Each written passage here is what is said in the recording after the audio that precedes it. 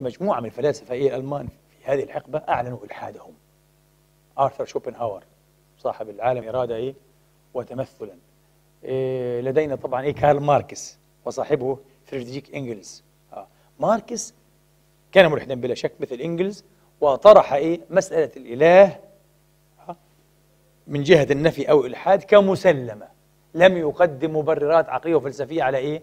على إلحاده بالنسبة له مسألة مقطوع بها ما في إله انتهينا.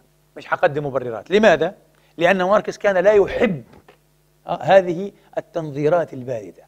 ماركس كان يرى أن وظيفة الفلسفة التي ينبغي أن تطلع بها حقا هي تغيير العالم الإنساني تغيير المجتمع تغيير الظروف الاقتصادية آه والسياسية والاجتماعية. وقال كلمته الشهيرة لقد دأب الفلاسفة لقد دأب الفلاسفة عبر العصور على أن يتأملوا العالم يحاولوا أن يفهموا العالم. نحن علينا أن نغيره. مش المهم نحن نفهم ونحاول نفهم. زي هيجل. لذلك هو تأثر إيه؟ بالديالكتيك الهيجلي الجدل آه؟ ال thèse وال antithèse وال synthèse آه. الأطروحة يعني آه؟ والنقيضة. وبعدين الجميعة كما يقال تأثر بهذا. آه. لكن لم يعجبه إيه؟